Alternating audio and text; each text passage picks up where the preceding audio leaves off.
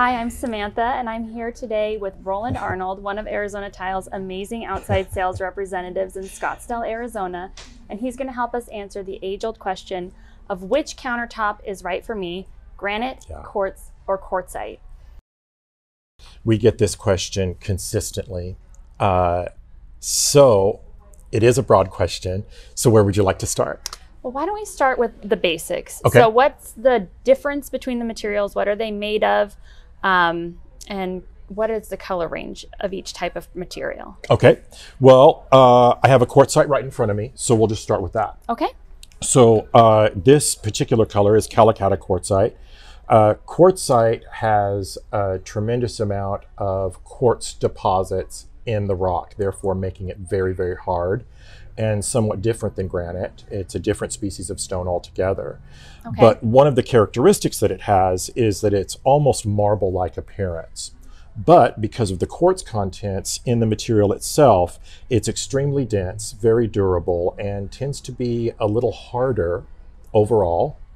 Uh, there's exceptions to every rule and every statement, but this is a natural stone. Uh, it, it does have some resin, uh, some resin fill in it. Now, pitting is not a common occurrence with quartzite as it is with granite.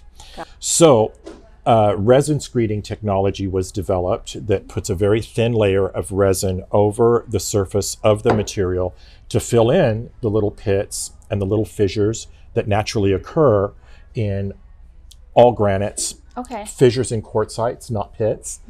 And it does away with that. So it's very, very smooth and very, very shiny.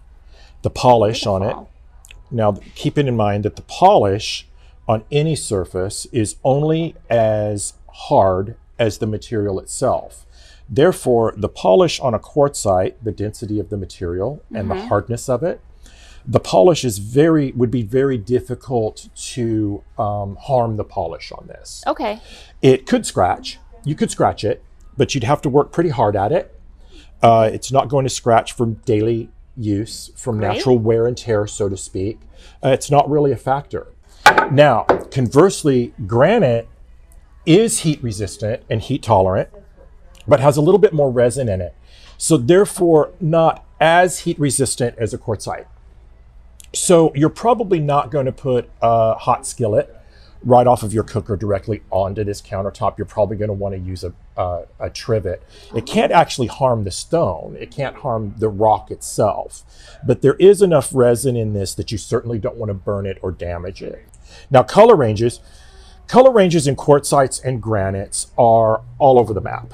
They're from whiter whites, especially in quartzites, you can get whiter whites Okay. but we can get into very, very rich colors as well.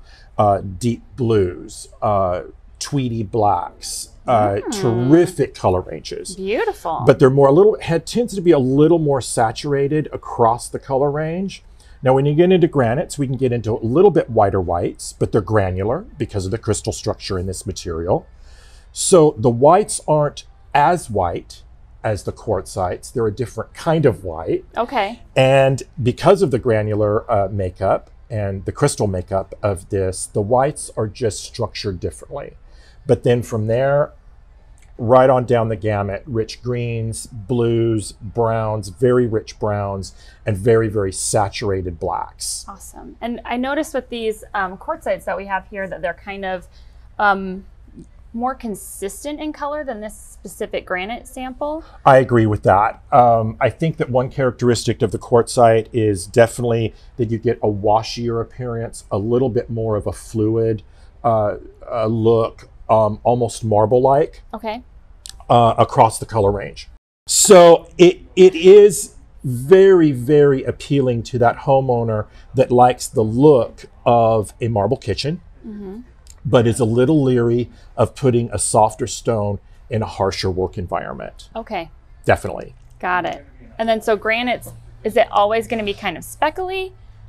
Or can you get more of like the marble look in a granite? In darker colors, you definitely can, but overall, you're going to have more of a granular structure in a granite Okay. than you would in a quartzite. Absolutely. Got it. Yeah. Okay. Well, what about, um, is this a quartz product here? So quartz product here and here. So there's a polished quartz, one of our newer introductions, the Calacatta Miranda. So a man-made quartz, and this is a common question that we get uh, daily, especially in-house. Mm-hmm. We get the question all the time, what's the, what's the difference? People confuse quartz with quartzite okay. all the time. Understandable. Very understandable. Mm-hmm. And if you look it up on the internet, there's a lot of misinformation there. So we definitely say you could arm yourself with a little bit of information on the internet, but then come and ask the experts. That makes sense. Yes. so from there, I would say, okay, so here's the main difference. Quartz is always man made, it's of mostly natural materials, quartz. Mm-hmm that goes into the structure of this. But a polymer resin compound is the binding agent, the glue, so to speak, that holds this together. Okay. So the man made structure of this is that there's no fissures, there's no pitting. Now, because of the resin and the polymers in this, there it's not quite as shiny, one may notice. Mm. The polish isn't quite it's a it's a level down, so to speak, from like a quartzite or a granite or even a marble. Okay. But it's extremely consistent and it's extremely hard and it's probably the most stain resistant material that we carry outside of a, a porcelain floor product. Okay. So for the countertop as it stands now, mm-hmm. quartz is definitely the hardest, most uh, stain resistant uh, surface that we carry. Okay, so that can be a really appealing feature for someone with a busy definitely. family kids in the kitchen yeah. unsupervised type yes, of situation? Exactly. Okay. Exactly. And as our surfaces now are doing double, triple, and quadruple duty now more than ever before, these questions and concerns come to the forefront in, in a bigger way, and they're just more important now. Mm-hmm. So, a quartz, again, just to recap, highly stain resistant. But one important feature to remember, not a drawback, but just something to remember Quartz is not heat resistant. And it's because of that binding agent, that resin and polymer mixture compound that is, like I mentioned before, the glue that holds it together, that is not heat resistant. Okay. So where we're using this material, uh, granites and quartzites inside and outside, typically covered outside, especially um, we're taping this in Arizona and our UV direct pretty high. Pretty high. yeah. So in covered environments, you're totally fine. We do have a list of materials that can be used in uncovered environments, which we can get into in another time. But inside, outside, okay. inside anywhere, covered outside, inside for quartz, not outside. Okay. It's highly the it's highly susceptible to UV damage. So you're not putting this outside and it's not heat resistant. I want to reiterate mm. that. So almost anything on a quartz can be repaired. A scratch, um, if it did happen to stain, if something something untoward happened where you did stain it or scratch it or even chipped it, it could be repaired. Oh, that's nice. It is, and it's a great feature. Yeah. But burns can be a little bit more iffy. So you're always using a trivet. You're always using some kind of protector. Even in the bathroom, I don't like uh, flat irons. I don't oh. like curling irons on it. See, that's something I wouldn't have even thought of. Right. The, the intense, Good that intense know. direct heat directly on there, mm-hmm. it could end up looking like a cigar burn. So it's something that you want to avoid. Mm-hmm. Now, conversely, I know that this is, we mentioned this is good for busy families. Definitely. Granite and quartzite, are those something that if you have, you know, 10 year old kids at home that are making hot dogs on the weekend, is that yeah. still safe? I feel confident with either okay. stone. Truly, truly, I Great. Do. And what if something were to stain your stone if you put it in your um, mm. um, kitchen? What can you do about that? Right. Is there anything that can be done about that? There are, there are things that can be done about it. These things can be addressed. So, one thing uh, definitely is uh, first of all, just let the stain, depending on what it is, let the stain, after you clean it up and there's something there, let it breathe itself out. Okay. Give that a few days. See how much it lightens. Okay. If it doesn't lighten to your liking, um, always use a poultice. We stock it. We stock it all the time, and we can get into that another time. But pull, over-the-counter poultices are dry mix. Uh, you follow the instructions on the label. You apply it to the surface, it will um, almost always draw that stain out of it. So now on a quartzite, you know that that stain is not deep. Okay, because it's so durable. Exactly. Like said. It's so okay. dense. You know that stain in all likelihood is not deep. So the odds of a poultice taking that stain out are very, very good. Great. In a whiter granite where you did happen to see a stain, Mm-hmm. odds are still pretty darn good that you're going to get that stain out. awesome. Yeah. What about quartz? Does it stain? Ah. Can it stain? It can, but again, you'd have to work really, really hard at it. okay. Now, everyday cleaners on quartz, I really like scrubbing bubbles uh, Oh, cool. for something that's very stru- stubborn. Okay. But a microfiber cloth, just remember, a microfiber cloth, slightly dampened on any of these surfaces, work beautifully for every day. That's all awesome information, Roland. Good. I love it. We've covered the day to day maintenance of Good. these materials. I think that's very informative. Um, in terms of like a more long term care for these products, Mm-hmm. is there anything that people should know? So, all natural stones uh, should be sealed at the time of installation. Typically, it's a penetrating sealer. It disappears. In, in, it embeds itself in the body of the stone. It doesn't leave a residue. So what happens is is a lot of people get confused with uh, man-made quartz. They will go in on polished man-made quartz and they'll assume that a sealer needs to be applied.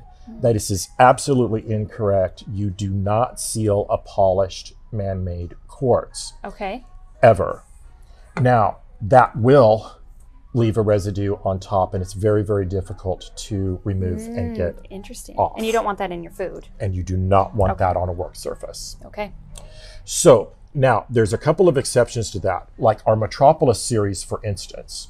This is a concrete, uh, a kind of a hybrid concrete limestone look. The Metropolis series is a beautiful range of colors, but as you'll notice, it has a slightly satin or leather like texture. Sure. Oh, yeah. Even some like divots in there. That's it's beautiful. quite nice. Uh, The the shade variation in the Metropolis series in colors i- of like this uh, have some variation in it. Uh, very beautiful. This takes a penetrating sealer, but it's one time. Okay. Oh, not like routine. That no no Okay. routine. So this on your granite, quartzite, and the marble. Occasionally, you can wipe some more sealer on it, especially in high use areas. High use areas being mainly uh, where your kitchen sink is, Okay. because you're wiping that all the time. Mm-hmm. Remember, a sealer just sits in your stone and it waits for you to need it. Okay. So, next to your cooker, Mm. next to your kitchen sink, on a very busy kitchen island where you're wiping all the time, you may want to reapply that. And that's something a homeowner can do themselves Okay. and very easy to do. Great. Polished, man made quartz, no sealer. Okay. Metropolis and Metropolis like quartz, man made quartz, does take a penetrating sealer, but again, one time at the time of installation, one and done, they're good to go. So, Roland, another Yes. question that we hear sometimes Okay. is with specifically homeowners who have larger kitchen islands Yes. or longer expanses of countertops. I know what's coming. Exactly. I know How what's coming. are these countertops going to match up? Is it going to look Right. good? Are you going to notice the seam Right, where it right. matches up? And how do you manage that? Okay. So, across the board, no matter what we're talking about, again, just to reiterate, quartzites, granites, and all sorts of man made quartz. Okay. seams common you're going to have a seam somewhere so all seams um, in natural stone can be felt and seen you can feel them with your finger. You, you can see them. Um, they're minimal. They're tight. They're very small. Uh, with book matching stones they're very difficult to they don't disrupt the flow of the material at all. Well, um, a little bit more care is taken in seaming man-made quartz because odds are, especially in a marble look, they do not book match. So a little bit more care is taken uh, in seaming that. But again, you're going to be able to see it. You're going to be able to feel it. They're going to be there, okay. but they're small. They should never separate Okay. ever. and won't require again it, they won't require any kind of uh, maintenance on a homeowner's part Okay, but so they no do- like additional care. Generally, your food's No. not getting stuck in there. no you don't have to worry uh, too much virtually about that. impossible Okay, yeah fabulous. Well, thank you, Roland. Um, I think that's awesome information for every Good, homeowner to good. have. Um, definitely gives us a good overview of the difference Okay. of these materials. I appreciate you educating us today. absolutely my pleasure Be sure to check out some more of our videos so Yeah. you can learn more about our materials and learn about the maintenance of those materials as well. yeah please do and bye everybody